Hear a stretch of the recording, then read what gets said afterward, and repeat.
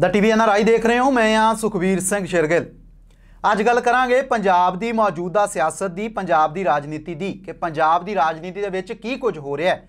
ਪੰਜਾਬ ਦੇ ਰਾਜਨੀਤਿਕ ਜਿਹੜੇ ਅਦਾਰੇ ਨੇ, ਉਹ ਕਿੱਧਰਲੇ ਪਾਸੇ ਨੂੰ ਜਾ ਰਹੇ ਨੇ? ਸਿਆਸਤਦਾਨਾਂ ਦੇ ਵੱਲੋਂ ਕਿਹੋ ਜਿਹੇ ਹੱਥ ਕੰਡੇ ਅਪਣਾਏ ਜਾ ਰਹੇ ਨੇ 2022 ਦੀਆਂ ਚੋਣਾਂ ਨੂੰ ਲੈ ਕੇ? ਇਸੇ ਦੇ ਮੱਦੇਨਜ਼ਰ ਅੱਜ ਗੱਲਬਾਤ ਕਰਾਂਗੇ ਤੇ ਮੇਰੇ ਨਾਲ ਨੇ ਮੇਰੇ ਸਹਿਯੋਗੀ ਹਿਨਾ ਜੀ। ਜੀ ਹਾਂ, ਬਿਲਕੁਲ। ਵਿਧਾਨ ਸਭਾ ਚੋਣਾਂ ਜਿਹੜੀਆਂ ਨੇ, ਉਹ ਬਹੁਤ ਜ਼ਿਆਦਾ ਨਜ਼ਦੀਕ ਨੇ ਤੇ ਹਰ ਇੱਕ ਸਿਆਸੀ ਪਾਰਟੀ ਜੋ ਹੈ, ਉਹ ਆਪਣੀ ਰਣਨੀਤੀ ਉਲੀਕ ਰਹੀ ਹੈ ਤੇ ਕਾਂਗਰਸ ਦੀ ਵੀ ਗੱਲ ਕੀਤੀ ਜਾਵੇਗੀ, ਜਿਸ ਦੇ ਵਿੱਚ ਕਾਫੀ ਹੜਕੰਪ ਮਚਿਆ ਹੋਇਆ ਹੈ। ਪਹਿਲਾਂ ਕੈਪਟਨ ਅਮਰਿੰਦਰ ਸਿੰਘ ਨੇ ਆਪਣੇ ਅਹੁਦੇ ਤੋਂ ਅਸਤੀਫਾ ਦੇ ਦਿੱਤਾ ਤੇ ਹੁਣ ਨਵਜੋਤ ਸਿੰਘ ਸਿੱਧੂ ਨੇ ਵੀ ਪ੍ਰਧਾਨਗੀ ਤੋਂ ਅਸਤੀਫਾ ਦੇ ਦਿੱਤਾ ਹੈ। ਪਰ ਜੇਕਰ ਤੁਸੀਂ ਸਾਡੇ YouTube ਚੈਨਲ ਨੂੰ ਹੁਣੇ ਤੱਕ ਸਬਸਕ੍ਰਾਈਬ ਨਹੀਂ ਕੀਤਾ, ਤਾਂ ਸਬਸਕ੍ਰਾਈਬ ਕਰ ਲਿਓ ਤਾਂ ਜੋ ਆਉਣ ਵਾਲੀ ਹਰ ਵੱਡੀ ਖਬਰ ਜੋ ਹੈ, ਉਹ ਤੁਹਾਡੇ ਤੱਕ ਪਹੁੰਚ ਸਕੇ। ਸੋ ਸੁਖ ਸਭ ਤੋਂ ਪਹਿਲਾਂ ਅਸੀਂ ਗੱਲ ਕਰਾਂਗੇ ਕੈਪਟਨ ਅਮਰਿੰਦਰ ਸਿੰਘ ਦੀ ਜਿਨ੍ਹਾਂ ਨੇ ਪਹਿਲਾਂ ਆਪਣੇ ਅਹੁਦੇ ਤੋਂ ਅਸਤੀਫਾ ਦੇ ਦਿੱਤਾ ਤੇ ਹੁਣ ਖਬਰਾਂ ਸਾਹਮਣੇ ਆ ਰਹੀਆਂ ਨੇ ਕਿ ਕੈਪਟਨ ਅਮਰਿੰਦਰ ਸਿੰਘ ਕਹਿ ਰਹੇ ਨੇ ਕਿ ਉਹ ਹੁਣ ਕਾਂਗਰਸ ਪਾਰਟੀ ਦੇ ਵਿੱਚ ਰਹਿਣਾ ਹੀ ਨਹੀਂ ਚਾਹੁੰਦੇ। ਬਿਲਕੁਲ ਇਹ ਨਾ ਬਹੁਤ ਸਾਰੀਆਂ ਚੀਜ਼ਾਂ ਜਿਹੜੀਆਂ ਨੇ ਮੌਜੂਦਾ ਸਥਿਤੀ ਨੂੰ ਲੈ ਕੇ ਜੇ ਗੱਲ ਕਰੀਏ ਤਾਂ ਕਾਂਗਰਸ ਪਾਰਟੀ ਦੇ ਵੱਲੋਂ ਅਜਿਹੀਆਂ ਅਣਸੁਖਾਵੀਆਂ ਚੀਜ਼ਾਂ ਕੀਤੀਆਂ ਜਾ ਰਹੀਆਂ ਨੇ। ਉਹ ਅਸਤੀਫਿਆਂ ਦੀ ਗੱਲ ਕਰ ਲਈਏ ਉਹ ਕੈਬਨਿਟ ਮੰਤਰੀਆਂ ਦੇ ਅਸਤੀਫਿਆਂ ਦੀ ਗੱਲ ਕਰ ਲਈਏ। ਇਹ ਸ਼ੁਰੂਆਤਾਂ ਹੁੰਦੀਆਂ ਨੇ ਜਦੋਂ ਨਵਜੋਤ ਸਿੰਘ ਸਿੱਧੂ ਪ੍ਰਧਾਨ ਬਣਦੇ ਨੇ। ਕਾਂਗਰਸ ਪਾਰਟੀ ਦੇ ਪ੍ਰਧਾਨ ਨਿਯੁਕਤ ਹੁੰਦੇ ਨੇ ਉਸ ਤੋਂ ਬਾਅਦ ਉਹਨਾਂ ਵੱਲੋਂ ਵੱਡੇ ਵੱਡੇ ਵਾਅਦੇ ਕੀਤੇ ਜਾਂਦੇ ਨੇ। ਤੇ ਹੁਣ ਜਿਹੜੀ ਮੌਜੂਦਾ ਸਥਿਤੀ ਹੈ ਉਸ ਦੀ ਗੱਲ ਕਰਦੇ ਹਾਂ। ਨਵਜੋਤ ਸਿੰਘ ਸਿੱਧੂ ਦੇ ਵੱਲੋਂ ਜਿਹੜਾ ਅਸਤੀਫਾ ਦਿੱਤਾ ਗਿਆ ਹੈ ਉਹ ਇਸ ਨੂੰ ਲੈ ਕੇ ਦਿੱਤਾ ਗਿਆ ਹੈ ਕਿ ਜਿਹੜੇ ਅਫਸਰਾਂ ਦੀ ਜਿਹੜੀ ਤਾਇਨਾਤੀ ਕੀਤੀ ਗਈ ਹੈ ਉਸ ਨੂੰ ਲੈ ਕੇ ਉਹਨਾਂ ਦੇ ਵੱਲੋਂ ਕਿਹਾ ਜਾ ਰਿਹਾ ਹੈ ਕਿ ਉਹਨਾਂ ਅਫਸਰਾਂ ਦੇ ਵੱਲੋਂ ਪਹਿਲਾਂ ਵੀ ਜਿਹੜੀਆਂ ਪੁਖਤਾ ਜਿਹੜੀਆਂ ਕਾਰਵਾਈਆਂ ਕਰਨੀਆਂ ਚਾਹੀਦੀਆਂ ਸੀ ਉਹ ਨਹੀਂ ਕੀਤੀਆਂ ਗਈਆਂ। ਤੇ ਹੁਣ ਇਸੇ ਦਾ ਰੋਹ ਜਿਹੜਾ ਹੈ, ਉਹ ਦਿਖਾਇਆ ਜਾ ਰਿਹਾ ਨਵਜੋਤ ਸਿੰਘ ਸਿੱਧੂ ਵੱਲੋਂ। ਜਿਵੇਂ ਤੁਸੀਂ ਅਮਰਿੰਦਰ, ਕੈਪਟਨ ਅਮਰਿੰਦਰ ਸਿੰਘ ਦੀ ਗੱਲ ਕੀਤੀ ਹੈ, ਤੇ ਕੈਪਟਨ ਹੋਰਾਂ ਦੇ ਵੱਲੋਂ ਜਿਵੇਂ ਕੋਈ ਵੱਡਾ ਕਹਿ ਲਓ ਕਿ ਚਿਹਰਾ ਹੁੰਦਾ ਹੈ, ਕਿਸੇ ਪਾਰਟੀ ਦੇ ਵਿੱਚ ਮੁੱਖ ਮੰਤਰੀ ਹੋਣਾ, ਬਹੁਤ ਵੱਡਾ ਉਹਨਾਂ ਦਾ ਜਿਹੜਾ ਅਹੁਦਾ ਸੀ, ਉਸ ਤੋਂ ਇੱਕਦਮ ਉਹਨਾਂ ਨੂੰ ਅਸਤੀਫਾ ਦੇਣਾ ਪਜੇ ਉਸ ਤੋਂ ਬਾਅਦ ਅਸਤੀਫਾ ਦੇਣ ਤੋਂ ਬਾਅਦ ਵੀ ਜਦੋਂ ਉਹਨਾਂ ਦਾ ਕਹਿ ਲਓ ਕਿ ਸਿਆਸੀ ਜਿਹੜਾ ਇੱਕ ਅਹੁਦਾ ਸੀ ਪਾਰਟੀ ਦੇ ਵਿੱਚ, ਉਹ ਵੀ ਕਿਤੇ ਡਾਵਾਂਡੋਲ ਹੁੰਦਾ ਦਿਖਾਈ ਦਿੰਦਾ ਹੈ। ਉਸ ਤੋਂ ਬਾਅਦ ਉਹਨਾਂ ਦੇ ਵਿੱਚ ਇਹ ਚੀਜ਼ ਆਉਂਦੀ ਹੈ ਕਿ ਮੈਨੂੰ ਮੇਰੀ ਪੁੱਛ ਪੜਤਾਲ ਜਿਹੜੀ ਉਹ ਘੱਟ ਹੋ ਰਹੀ ਹੈ ਇਸੇ ਦੇ ਕਰਕੇ ਹੁਣ ਉਹਨਾਂ ਦੇ ਵੱਲੋਂ ਰੋਹ ਦੇ ਵਿੱਚ ਆ ਕੇ ਗੁੱਸੇ ਦੇ ਵਿੱਚ ਆ ਕੇ ਇਹ ਚੀਜ਼ਾਂ ਸ਼ਾਇਦ ਕਹੀਆਂ ਜਾ ਰਹੀਆਂ ਨੇ ਕਿ ਮੈਂ ਪਾਰਟੀ ਦੇ ਵਿੱਚ ਨਹੀਂ ਰਵਾਂਗਾ ਇਹੀ ਚੀਜ਼ ਨੇ ਪਰ ਸੁਖ ਇੱਕ ਗੱਲ ਮੈਨੂੰ ਸਮਝ ਨਹੀਂ ਆਈ ਚਲੋ ਅਸਤੀਫਾ ਦੇ ਦਿੱਤਾ ਪ੍ਰਧਾਨਗੀ ਤੋਂ ਪਰ ਕੀ ਇਹ ਸਹੀ ਸੀਗਾ ਕਿਉਂਕਿ ਉਹਨਾਂ ਦਾ ਕਹਿਣਾ ਹੈ ਕਿ ਜਦੋਂ ਮੰਤਰੀਆਂ ਨੂੰ ਅਹੁਦੇ ਵੰਡੇ ਗਏ ਤਾਂ ਉਹਨਾਂ ਦੀ رائے ਨਹੀਂ ਲਈ ਗਈ ਤੁਹਾਨੂੰ ਨਹੀਂ ਲੱਗਦਾ ਕਿ ਅ, ਚਲੋ ਹਾਂ رائے ਨਹੀਂ ਲਈ ਗਈ ਪਰ ਕੀ ਤੁਹਾਨੂੰ ਲੱਗਦਾ ਹੈ ਕਿ ਇਹ ਇਹ ਗੱਲ ਇੰਨੀ ਜ਼ਿਆਦਾ ਵੱਡੀ ਸੀ ਕਿ ਉਹਨਾਂ ਨੇ ਅਸਤੀਫਾ ਦੇ ਦਿੱਤਾ ਅ, ਬਿਲਕੁਲ, ਕਿਉਂਕਿ ਅਜਿਹੀਆਂ ਚੀਜ਼ਾਂ ਨੇ, ਕਿਉਂਕਿ ਮੰਜ਼ਰ ਅਜਿਹੇ ਬਣਦੇ ਗਏ, ਕਿਉਂਕਿ ਚਰਨਜੀਤ ਚੰਨੀ ਨੂੰ ਜਦੋਂ ਮੁੱਖ ਮੰਤਰੀ ਥਾਪਿਆ ਜਾਂਦਾ ਹੈ, ਸੁਖਜਿੰਦਰ ਸਿੰਘ ਸੁਖਜਿੰਦਰ ਰੰਧਾਵਾ ਦਾ ਨਾਮ ਹੁੰਦਾ ਹੈ ਉੱਥੇ ਹੀ ਜਿਹੜਾ ਸੁਨੀਲ ਜਾਖੜ ਦਾ ਨਾਮ ਹੁੰਦਾ ਵੱਡੇ ਵੱਡੇ ਚਿਹਰੇ ਜਿਹੜੇ ਨੇ ਕਾਂਗਰਸ ਪਾਰਟੀ ਦੇ, ਉਹਨਾਂ ਦਾ ਨਾਮ ਹੁੰਦਾ ਪਰ ਇੱਕਦਮ ਚਰਨਜੀਤ ਚੰਨੀ ਦਾ ਸਾਹਮਣੇ ਆ ਜਾਣਾ ਇਹ ਵੀ ਕਾਂਗਰਸ ਪਾਰਟੀ ਦੇ ਵਿੱਚ ਇੱਕ ਹੜਕੰਪ ਮਚਾਉਣ ਵਾਲੀ ਚੀਜ਼ ਸੀ। ਪੂਰਾ ਮਤਲਬ ਮੀਡੀਆ ਤਬਕਾ ਜਿਹੜਾ ਉਹ ਵੀ ਹੈਰਾਨ ਸੀ ਤੇ ਆਮ ਲੋਕ ਵੀ ਪੰਜਾਬ ਦੇ ਹੈਰਾਨ ਸੀ ਕਿ ਨਾਮ ਕਿਹਨਾਂ ਦੇ ਲਏ ਜਾ ਰਹੇ ਸੀ ਤੇ ਸਾਹਮਣੇ ਕਿਹਨੂੰ? ਲਿਆ ਕੇ ਖੜਾ ਕਰ ਦਿੱਤਾ। ਇਹ ਅਜਿਹੀਆਂ ਚੀਜ਼ਾਂ ਤੋਂ ਲੋਕ ਹੁਣ ਜਿਹੜੇ ਮੌਜੂਦਾ ਪੱਧਰ ਦੀ ਗੱਲ ਕਰੀਏ ਤਾਂ ਲੋਕ ਹੈਰਾਨ ਬਹੁਤ ਨੇ। ਕਾਂਗਰਸ ਪਾਰਟੀ ਦੇ ਉੱਤੇ ਯਕੀਨ ਕਰਨ ਨੂੰ ਲੋਕ ਕਹਿ ਰਹੇ ਨੇ ਕਿ ਸਾਡਾ ਦਿਲ ਨਹੀਂ ਕਰ ਰਿਹਾ। ਕਿ ਯਕੀਨ ਕਿਸ ਤੇ ਕਰੀਏ ਕਿਸ ਤਰੀਕੇ ਦੇ ਨਾਲ ਕਰੀਏ।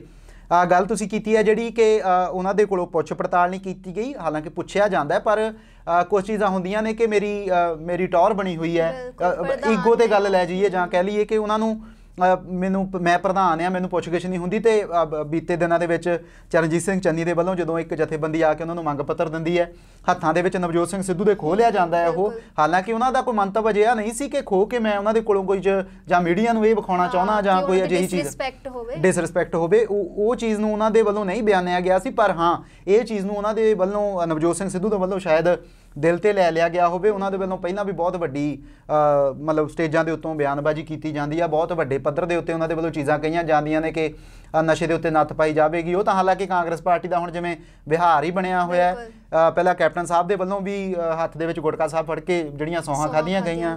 ਉਹਨਾਂ ਦੇ ਵੀ ਮਤਲਬ ਕਹਿ ਸਕਦੇ ਕਿੰਨਾ ਕੁ ਖਰਾ ਉਤਰੀ ਹੈ। ਇਹ ਪੰਜਾਬ ਦੇ ਲੋਕ ਭਲੀ ਭਾਂਤੀ ਜਾਣਦੇ ਨੇ।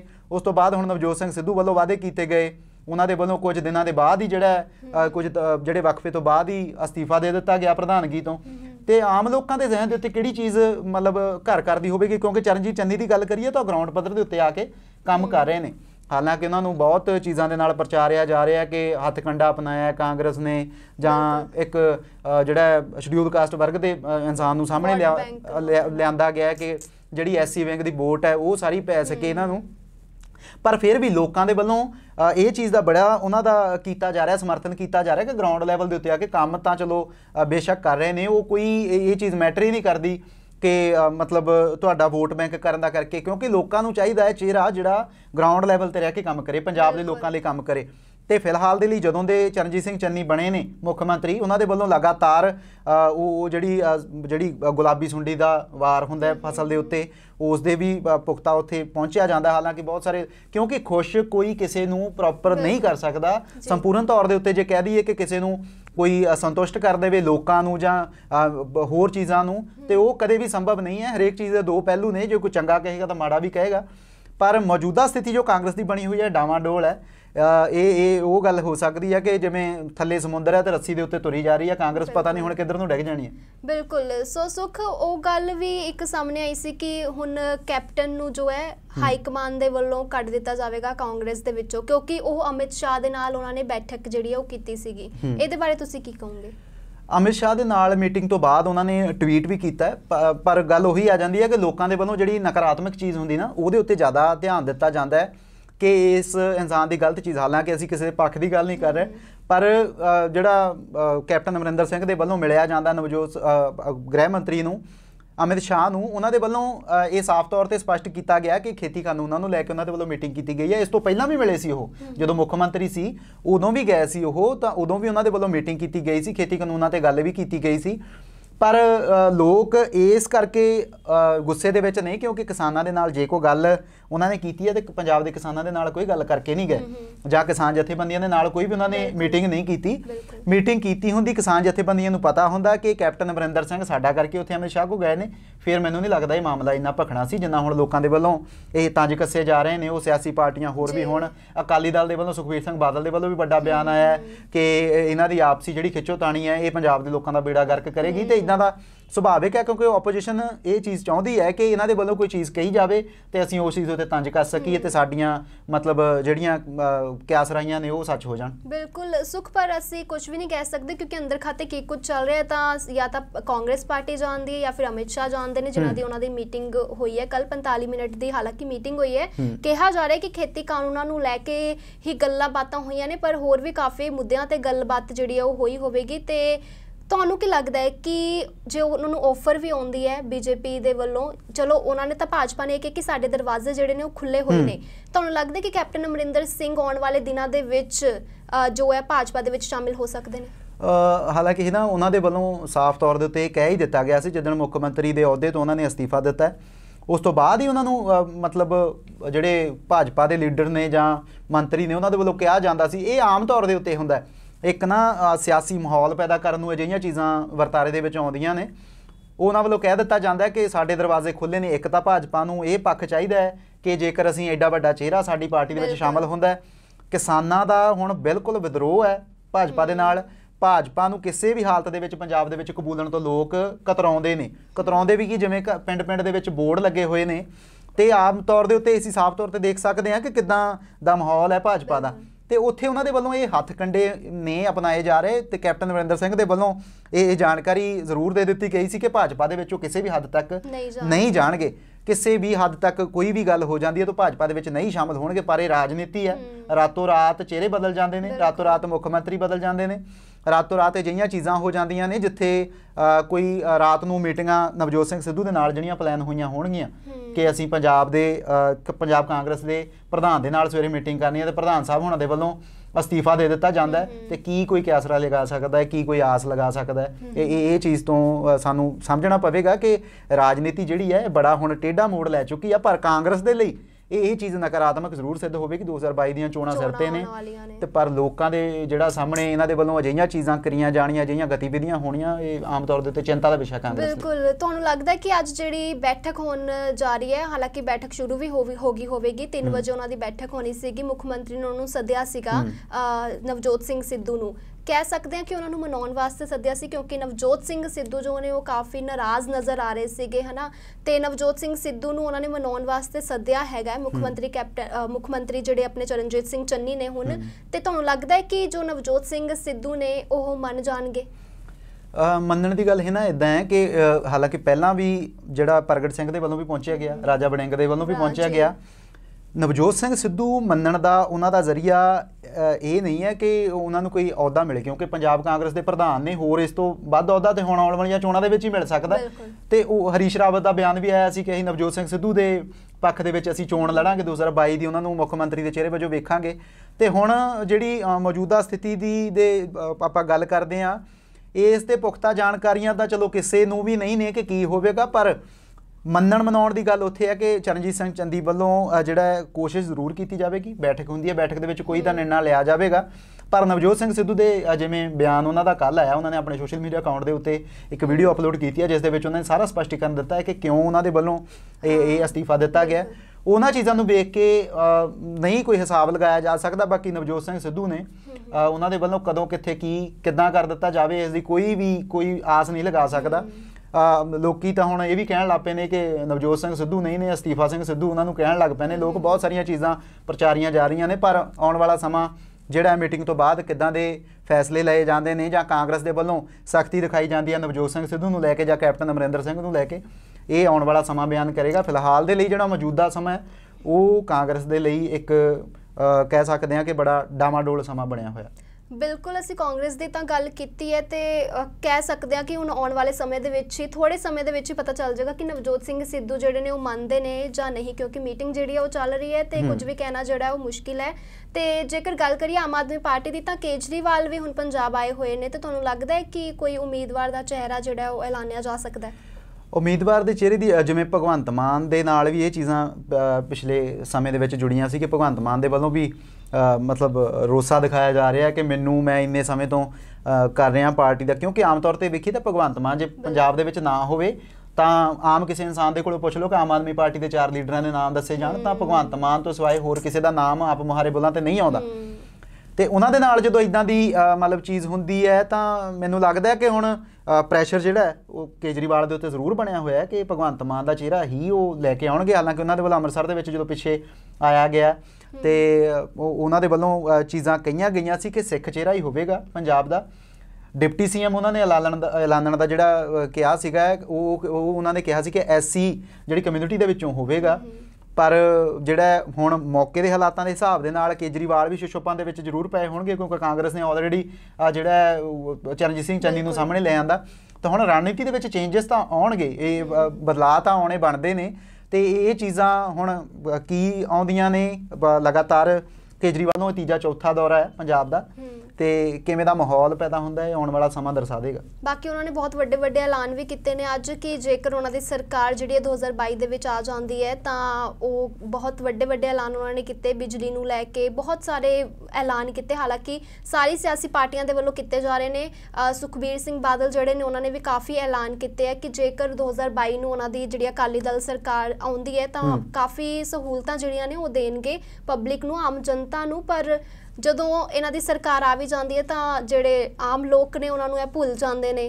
ਕਹਿ ਸਕਦੇ ਆ ਤੇ ਹੁਣ ਕਾਂਗਰਸ ਦੇ ਵਿੱਚ ਜੋ ਕੁਝ ਵੀ ਚੱਲ ਰਿਹਾ ਹੈ ਉਹ ਸਭ ਤੋਂ ਅਹਿਮ ਗੱਲ ਹੈ ਆਪਾਂ ਇਸ ਨੂੰ ਅਹਿਮ ਤੇ ਹੀ ਰੱਖਦੇ ਆ ਕਿਉਂਕਿ ਕੈਪਟਨ ਦੇ ਵਿੱਚ ਅਜਿਹਾ ਹੋਣਾ ਇੱਕ ਬਹੁਤ ਵੱਡੀ ਗੱਲ ਹੈ ਕਿਉਂਕਿ ਕਾਂਗਰਸ ਦੀ ਜੇਕਰ ਆਪਾਂ ਗੱਲ ਕਰ ਲਈਏ ਤਾਂ ਕਾਂਗਰਸ ਕਾਫੀ ਮਜ਼ਬੂਤ ਹੈ ਪੰਜਾਬ ਦੇ ਵਿੱਚ। ਪੂਰੇ ਪੰਜਾਬ ਦੇ ਵਿੱਚ ਕਾਂਗਰਸ ਕਾਫੀ ਮਜ਼ਬੂਤ ਹੈ ਤੇ ਵੋਟਾਂ ਵੀ ਉਹਨਾਂ ਨੂੰ ਬਹੁਤ ਜ਼ਿਆਦਾ ਮਿਲਦੀਆਂ ਨੇ ਪੰਜਾਬ ਦੇ ਵਿੱਚੋਂ।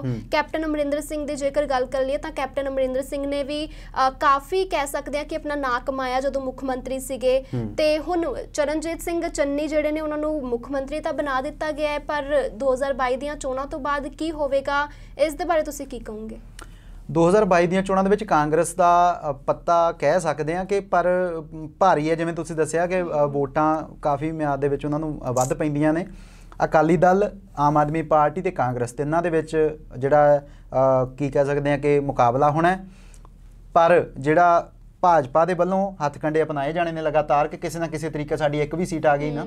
ਪੰਜਾਬ ਦੇ ਵਿੱਚ ਤਾਂ ਅਸੀਂ ਮੂੰਹ ਦਿਖਾਉਣ ਜੋਗੇ ਕਿਤੇ ਨਾ ਕਿਤੇ ਰਹਿ। ਜਾਾਂਗੇ ਇਹ ਇਹ ਇਹ ਚੀਜ਼ਾਂ ਹੋਣਗੀਆਂ ਪਰ 2022 ਦੀਆਂ ਚੋਣਾਂ ਦੇ ਵਿੱਚ ਕਾਂਗਰਸ ਦੇ ਜਿਵੇਂ ਮੌਕੇ ਦੇ ਹਾਲਾਤ ਨੇ ਇਹ ਵੀ ਇੱਕ ਜਿਹੜੀ ਹੈ ਉਹਨਾਂ ਲਈ ਸੋਚ ਦਾ ਵਿਸ਼ਾ ਹੈ। ਕਾਂਗਰਸ ਦੇ ਹਾਈ ਕਮਾਂਡ ਦੇ ਵੱਲੋਂ ਤਦੇ ਸਖਤੀ ਦਿਖਾਈ ਜਾ ਰਹੀ ਹੈ। ਸੋਨੀਆ ਗਾਂਧੀ ਦੇ ਵੱਲੋਂ ਰਾਹੁਲ ਗਾਂਧੀ ਦੀ ਗੱਲ ਕਰੀਏ ਉਹਨਾਂ ਦੇ ਵੱਲੋਂ ਲਗਾਤਾਰ ਮੀਟਿੰਗਾਂ ਕੀਤੀਆਂ ਜਾ ਰਹੀਆਂ ਨੇ। ਕੁਝ ਮੀਟਿੰਗਾਂ ਦਾ ਤਾਂ ਪਤਾ ਲੱਗਦਾ ਜਿਹੜੀਆਂ ਅੰਦਰ ਖਾਤੇ ਹੁੰਦੀਆਂ ਨੇ ਉਹਦਾ ਜਨਤਾ ਨੂੰ ਨਹੀਂ ਪਤਾ ਲੱਗਦਾ। ਪਰ ਉਹ ਅੰਦਰ ਖਾਤੇ ਹੋਣ ਵਾਲੀਆਂ ਮੀਟਿੰਗਾਂ ਦੇ ਵਿੱਚ ਹੀ ਰਾਤੋਂ ਰਾਤ ਮੁੱਖ ਮੰਤਰੀ ਬਦਲਦੇ ਨੇ।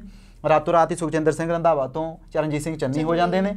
ਇਹ ਇਹ ਜਿਹੜੀਆਂ ਮੀਟਿੰਗਾਂ ਅੰਦਰ ਖਾਤੇ ਹੁੰਦੀਆਂ ਨੇ, ਉਹਨਾਂ ਦਾ ਬਦਲਾਅ ਵੱਡਾ ਹੁੰਦਾ। ਜਿਹੜੀ ਮੀਡੀਆ ਨੂੰ ਦੱਸ ਕੇ ਮੀਟਿੰਗ ਹੁੰਦੀ ਆ, ਉਸ ਦੇ ਵਿੱਚ ਤਾਂ ਆਪਾਂ ਵੇਖਿਆ ਹੀ ਹੈ ਪਹਿਲਾਂ ਵੀ ਬਹੁਤ ਸਾਰੇ ਫੈਸਲੇ ਜਿਹੜੇ ਨੇ, ਉਹ ਲਟਕੇ ਰਹਿ ਗਏ ਨੇ ਤੇ ਹੁਣ ਵੀ ਕੋਈ ਪੁਖਤਾ ਜਾਣਕਾਰੀ ਇਸ ਬਾਰੇ ਨਹੀਂ ਦੇ ਸਕਦੇ ਕਿ 2022 ਦੀਆਂ ਚੋਣਾਂ ਨੂੰ ਕਾਂਗਰਸ ਪਾਰਟੀ ਦੇ ਜਿਹੜੀ ਝੋਲੀ ਦੇ ਵਿੱਚ ਕਿੰਨੀਆਂ ਵੋਟਾਂ ਪੈਣਗੀਆਂ ਹਾਂ ਮੈਨੂੰ ਵੀ ਨਹੀਂ ਲੱਗਦਾ ਤੇ ਆਮ ਜਨਤਾ ਨੂੰ ਵੀ ਨਹੀਂ ਲੱਗਦਾ ਕਿ ਆਉਣ ਵਾਲੀਆਂ ਚੋਣਾਂ ਨੂੰ ਲੈ ਕੇ ਇਹਨਾਂ ਦੀ ਕੋਈ ਰਣਨੀਤੀ ਹੈਗੀ ਹੈ ਕਿਉਂਕਿ ਇਹ ਆਪਸ ਦੇ ਵਿੱਚ ਹੀ ਲੜੀ ਜਾ ਰਹੇ ਨੇ। ਕਦੇ ਕੈਪਟਨ ਅਮਰਿੰਦਰ ਸਿੰਘ ਨਾਰਾਜ਼ ਹੋ ਜਾਂਦੇ ਨੇ ਹਾਲਾਂਕਿ ਉਹ ਵੀ ਨਾਰਾਜ਼ ਚੱਲ ਰਹੇ ਨੇ ਤੇ ਉਹਨਾਂ ਦੀ ਨਾਰਾਜ਼ਗੀ ਜਿਹੜੀ ਹੈ ਉਹ ਹੁਣੇ ਤੱਕ ਪੂਰੀ ਨਹੀਂ ਮਤਲਬ ਖਤਮ ਨਹੀਂ ਹੋਈ ਸੀ ਤੇ ਹੁਣ ਨਵਜੋਤ ਸਿੰਘ ਸਿੱਧੂ ਜਿਹੜੇ ਨੇ ਉਹ ਵੀ ਨਾਰਾਜ਼ ਹੋ ਗਏ ਸੀਗੇ। ਤੇ ਪ੍ਰਧਾਨਗੀ ਤੋਂ ਉਹਨਾਂ ਨੇ ਅਸਤੀਫਾ ਤਾਂ ਦੇ ਹੀ ਦਿੱਤਾ ਹੈ ਹੁਣ ਦੇਖਣਾ ਹੋਵੇਗਾ ਕਿ ਉਹ ਪ੍ਰਧਾਨ ਰਹਿੰਦੇ ਨੇ ਜਾਂ ਫਿਰ ਨਵੇਂ ਪ੍ਰਧਾਨ ਜਿਹੜੇ ਨੇ ਹਾਲਾਂਕਿ ਨਵੇਂ ਪ੍ਰਧਾਨ ਨੂੰ ਲੈ ਕੇ ਵੀ ਸੁਖ ਨਾਮ ਜਿਹੜੇ ਨੇ ਸਾਹਮਣੇ ਆ ਰਹੇ ਸੀਗੇ ਕਿ ਜੇਕਰ ਨਵਜੋਤ ਸਿੰਘ ਸਿੱਧੂ ਪ੍ਰਧਾਨ ਨਹੀਂ ਰਹਿੰਦੇ ਤਾਂ ਕੁਲਜੀਤ ਨਾਗਰਾ ਜਿਹੜੇ ਨੇ ਸੁਨੀਲ। ਜਾਖੜ ਤੇ ਲਾਲ ਸਿੰਘ ਜਿਹੜੇ ਨੇ ਇਹ ਪ੍ਰਧਾਨ ਹੋ ਸਕਦੇ ਨੇ ਤੁਹਾਨੂੰ ਕੀ ਲੱਗਦਾ ਹੈ ਅਜਿਹਾ ਕੁਝ ਹੋਵੇਗਾ ਇਹਨਾਂ ਦੀ ਵੀ ਗੱਲ ਕਰੀਏ ਆਪਾਂ ਕਾਂਗਰਸ ਪਾਰਟੀ ਦੇ ਉੱਤੇ ਕਿਤੇ ਵੀ ਯਕੀਨ ਮਤਲਬ ਕਰਨ ਵਾਲਾ ਉਹ ਰਹਿ ਹੀ ਨਹੀਂ ਗਿਆ ਹੁਣ ਕਿਉਂਕਿ ਫਿਰ ਮੈਂ ਗੱਲ ਦੁਹਰਾਉਣਾ ਚਾਹੂੰਗਾ ਸੁਖਜਿੰਦਰ ਸਿੰਘ ਰੰਧਾਵਾ ਦਾ ਨਾਮ ਲੈ ਕੇ ਚਰਨਜੀਤ ਸਿੰਘ ਚੰਨੀ ਦਾ ਸਾਹਮਣੇ ਆਉਣਾ। ਉਦੋਂ ਵੀ ਸੁਨੀਲ ਜਾਖੜ ਦਾ ਨਾਮ ਲਿਆ ਜਾਂਦਾ ਸੀ ਅੰਬਿਕਾ ਸੋਨੀ ਦਾ ਨਾਮ ਲਿਆ ਜਾਂਦਾ ਸੀ ਵੱਡੇ ਵੱਡੇ ਚਿਹਰੇ ਨੇ ਪੰਜਾਬ ਦੇ ਜਿਹੜੇ ਥੰਮ ਦੱਸੇ ਜਾਂਦੇ ਨੇ ਕਾਂਗਰਸ ਦੇ ਪੰਜਾਬ ਦੇ ਵਿੱਚ ਉਹਨਾਂ ਨੂੰ ਮਤਲਬ ਪਾਸੇ ਕਰਕੇ ਕਾਂਗਰਸ ਦੇ ਵੱਲੋਂ ਨਵੇਂ ਚਿਹਰੇ ਲਿਆ ਦਿੱਤੇ ਜਾਣੇ ਤੇ ਪੰਜਾਬ ਦਾ ਪ੍ਰਧਾਨ ਕਾਂਗਰਸ ਦਾ ਨਵਾਂ ਬਣ ਜਾਣਾ ਇਹ ਵੀ ਕੋਈ ਕੋਈ ਵੱਡੀ ਗੱਲ ਨਹੀਂ ਹੈ ਹੁਣ ਕਾਂਗਰਸ ਦੀ ਹੁਣ ਕਾਂਗਰਸ ਦੇ ਵਿੱਚ ਅਸਤੀਫੇ ਹੁਣ ਕਾਂਗਰਸ ਦੇ ਵਿੱਚ ਜਿਹੜੇ ਪ੍ਰਧਾਨਗੀਆਂ ਦੇ ਚਿਹਰੇ ਬਦਲਨੇ ਇਹ ਬਹੁਤ ਛੋਟੀ ਗੱਲ ਹੋ ਗਈ ਹੈ ਕਿਉਂਕਿ ਜਿੰਨੀ ਵਾਰੀ ਪ੍ਰਧਾਨ ਬਦਲ ਚੁੱਕੇ ਨੇ। ਜਾਂ ਮੁੱਖ ਮੰਤਰੀ ਬਦਲਣ ਦਾ ਜਿਹੜਾ ਦੌਰ ਇਹਨਾਂ ਦਾ ਚੱਲ ਰਿਹਾ ਹੈ, ਇਹ ਇਹ ਕੋਈ ਮੈਨੂੰ ਲੱਗਦਾ ਕਿ ਮਿਸਾਲੀ ਤੌਰ ਦੇ ਉੱਤੇ ਜੇ ਗੱਲ ਕਰੀਏ ਤਾਂ ਪੰਜਾਬ ਦੇ ਵਿੱਚ ਇੱਕ ਦੋ ਵਾਰ ਹੋਇਆ ਹੋਣਾ। ਇਸ ਦਾ ਇਹ ਹੈ ਕਿ ਆਮ ਲੋਕਾਂ ਦੇ ਉੱਤੇ ਇਹ ਸੰਕਟ ਆ ਸਕਦਾ ਹੈ ਕਿ ਰਾਸ਼ਟਰਪਤੀ ਰਾਜ ਲਾਗੂ ਹੋਣ ਦੀਆਂ ਸੰਭਾਵਨਾਵਾਂ ਜਿਹੜੀਆਂ ਬਣ ਰਹੀਆਂ ਨੇ ਕਿਉਂਕਿ ਇੱਕਦਮ ਜਦੋਂ ਕਿਸੇ ਮੁੱਖ ਮੰਤਰੀ ਦੇ ਅੰਡਰ ਅਜਿਹੀਆਂ ਚੀਜ਼ਾਂ ਆਉਂਦੀਆਂ ਨੇ ਮੌਜੂਦਾ ਸਰਕਾਰ ਦੇ ਵੱਲੋਂ ਅਜਿਹੀਆਂ ਚੀਜ਼ਾਂ ਤਾਂ ਰਾਸ਼ਟਰਪਤੀ ਰਾਜ ਲਾਗੂ ਹੋਣ ਲੱਗੇ ਵੀ। ਜਿਹੜਾ ਹੈ ਉਹ ਸਮਾਂ ਨਹੀਂ ਲੱਗਦਾ। ਕਿਉਂਕਿ ਜਿਹੜੀ ਦੇਸ਼ ਦੀ ਸਰਕਾਰ ਹੈ ਉਸ ਦੇ ਵੱਲੋਂ ਪੁਖਤਾ ਪ੍ਰਬੰਧਨ ਤੇ ਭਾਜਪਾ ਸਰਕਾਰ ਦੇਸ਼ ਦੇ ਵਿੱਚ ਰਾਜ ਕਰ ਰਹੀ ਹੈ ਉਸ ਦੇ ਵੱਲੋਂ ਤਾਂ ਇਦਾਂ ਦਾ ਮੌਕਾ ਉਹਨਾਂ ਦੇ ਵੱਲੋਂ ਭਾਲਿਆ ਜਾ ਰਿਹਾ ਕਿ ਕਿੱਥੇ ਅਸੀਂ ਨਕੇਲ ਕਰ ਸਕੀਏ ਕਿੱਥੇ ਸਾਡਾ ਸ਼ਾਸਨ ਦੂਸਰੇ ਤਰੀਕੇ ਨਾਲ ਆ ਸਕੇ ਜਿੱਥੇ ਅਸੀਂ ਆਪਣੀ ਮਨਮਰਜ਼ੀ ਕਰ ਸਕੀਏ ਤੇ ਇਹ ਇਹ ਚੀਜ਼ਾਂ ਆਉਣ ਵਾਲੇ ਸਮੇਂ ਦੇ ਵਿੱਚ ਪੂਰੀਆਂ ਕਲੀਅਰ ਹੋ ਜਾਣਗੀਆਂ ਸਾਫ਼ ਹੋ ਜਾਣਗੀਆਂ। ਬਿਲਕੁਲ ਪ੍ਰਧਾਨਗੀ ਨੂੰ ਲੈ ਕੇ ਵੀ ਅਸੀਂ ਕੁਝ ਨਹੀਂ ਕਹਿ ਸਕਦੇ ਕਿਉਂਕਿ ਨਵਜੋਤ ਸਿੰਘ ਸਿੱਧੂ ਹੁਣੇ ਤੱਕ ਤਾਂ ਨਾਰਾਜ਼ ਚੱਲ ਰਹੇ ਨੇ ਪਰ ਜਿਵੇਂ ਤੁਸੀਂ ਕਿਹਾ ਕਿ ਕੁਝ ਨਹੀਂ ਪਤਾ ਚੱਲਦਾ ਕਾਂਗਰਸ ਦੇ ਵਿੱਚ ਕਦੋਂ ਕੀ ਹੋ ਜਾ- ਹੋ ਜਾਵੇ। ਤੇ ਦੇਖਣਾ ਹੋਵੇਗਾ ਕਿ ਹੁਣ ਕੌਣ ਜਿਹੜਾ ਉਹ ਨਵਾਂ ਪ੍ਰਧਾਨ ਬਣਦਾ ਜਾਂ ਫਿਰ ਨਵਜੋਤ ਸਿੰਘ ਸਿੱਧੂ ਹੀ ਜਿਹੜੇ ਨੇ ਪ੍ਰਧਾਨ ਰਹਿੰਦੇ ਨੇ ਹਾਲਾਂਕਿ ਕੈਪਟਨ ਅਮਰਿੰਦਰ ਸਿੰਘ ਵੀ ਤੰਜ ਕੱਸ ਰਹੇ ਸੀਗੇ ਜਦੋਂ ਨਵਜੋਤ ਸਿੰਘ ਸਿੱਧੂ ਨੇ ਅਸਤੀਫਾ ਦੇ ਦਿੱਤਾ ਸੀਗਾ। ਤਾਂ ਨਵਜੋਤ ਸਿੰਘ ਸਿੱਧੂ ਤੇ ਉਹਨਾਂ ਨੇ ਤੰਜ ਕੱਸਿਆ ਸੀ ਕਿ ਮੈਂ ਤਾਂ ਪਹਿਲਾਂ ਹੀ ਕਿਹਾ ਸੀ ਕਿ ਨਵਜੋਤ ਸਿੰਘ ਸਿੱਧੂ ਸਥਿਰ ਨਹੀਂ ਰਹਿ ਸਕਦੇ ਆਪਣੇ ਕਹੇ ਤੇ ਤੇ ਇਸ ਕਰਕੇ ਉਹਨਾਂ ਨੇ ਜਿਹੜਾ ਅਸਤੀਫਾ ਹੈ ਉਹ ਦੇ ਦਿੱਤਾ ਤੇ ਇਸ ਤੋਂ ਬਾਅਦ ਹਾਈ ਕਮਾਨ ਨੇ ਵੀ ਕਹਿ ਦਿੱਤਾ ਸੀ ਕਿ ਅਸੀਂ ਬਈ ਅਸੀਂ ਨਹੀਂ ਪੈਣਾ ਜਿਹੜੀ ਪੰਜਾਬ ਦੀ ਲੀਡਰਸ਼ਿਪ ਹੈਗੀ ਹੈ ਉਹੀ ਸੋਲਵ ਕਰੇ ਇਸ ਸਭ ਨੂੰ। ਚਰਨਜੀਤ ਸਿੰਘ ਚੰਨੀ ਨੂੰ ਜਿਹੜੀ ਉਹਨਾਂ ਨੇ ਰਿਸਪੌਂਸਿਬਿਲਟੀ ਦਿੱਤੀ ਸੀਗੀ ਕਿ ਜ਼ਿੰਮੇਵਾਰੀ ਦਿੱਤੀ ਸੀ ਕਿ ਤੁਸੀਂ ਨਵਜੋਤ ਸਿੰਘ ਸਿੱਧੂ ਨੂੰ ਮਨਾਓ।